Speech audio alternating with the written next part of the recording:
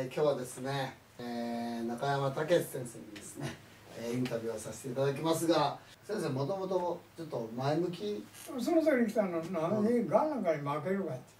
死んでたまるかいっつってこれはさ常識にないでしょ。ないですね。ね。そんなん見たらどどんだけごま好きやねんと思いますけどね。好きじゃないはいそれが大事じゃん野生の動物が一番ね丈夫だよ。痩せます自然には。うん。ねだけどがんの治療はね自然体なものの見方をしないじゃん。うん。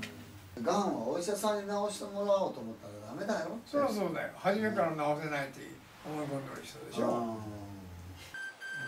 あごめんなさい。これまで借りますはい中山です。そうそうだけどね私から見るとねあのー、早期がんね。ところが進行がんになったらね何の役にも立ちませんわあの、先生あの、あミラクルウォーター知っとるでしょ？飲んだことない？ミラクルウォーター。うんうん。あれやらせやらせたらどうですあれの方がよっぽど効果あると見るよ。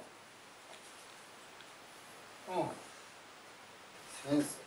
お医者さんのアドバイザーですか。先生は120歳まではい。健康ではい。長寿が可能であります。可能であります。はい、えーミネラルウォーターではありません、はい。ミラクルウォーター。ミでラクルウォーター。はい。え血液のリサイクルはい、はい。それでは。はい。じゃあいただきましょう